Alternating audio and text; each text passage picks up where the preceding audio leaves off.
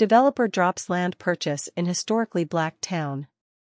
A developer on Friday ended plans to purchase a 100-acre, 39-hectare, property from the local school system in a historically black town in Florida following a public outcry that the deal threatened the cultural heritage of the community made famous by Harlem Renaissance writer Zora Neale Hurston.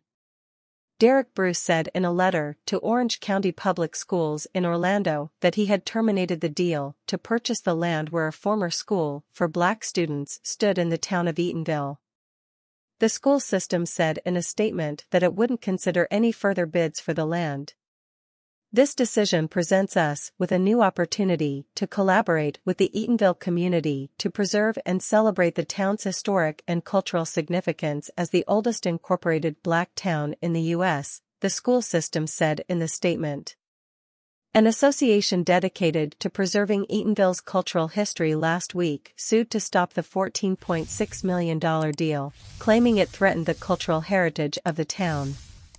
The developer had plans to build 350 homes, as well as business spaces, raising fears the project would increase traffic and price out longtime residents of the town.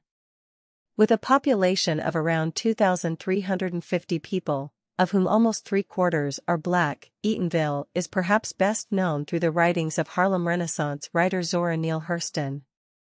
The town was the setting for one of her best known works, Their Eyes Were Watching God. Founded in 1887, Eatonville was among the early all-black incorporated municipalities established in the decades after the end of slavery in the U.S.